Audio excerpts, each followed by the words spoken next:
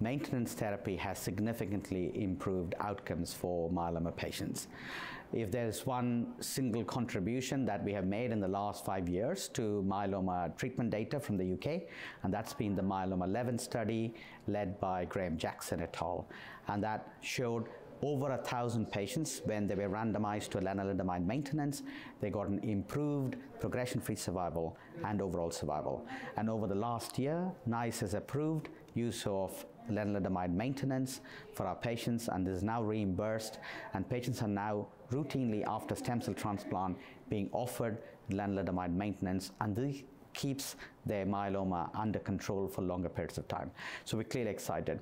But we know that there are some patients who tend not to get durable remissions with lenalidomide maintenance. And these are patients with high-risk disease. And therefore, we need to find combination treatments with lenalidomide to maintain their myeloma disease control. And this is part of what we're trying to do in the RADAR study, the 1,400 patient study, where we're going to try and see if patients are MRD positive, whether you can combine drugs to lenalidomide to try and give them a more durable uh, remission period. So really, I think we have to wait and see over the next two years as to whether we can do that.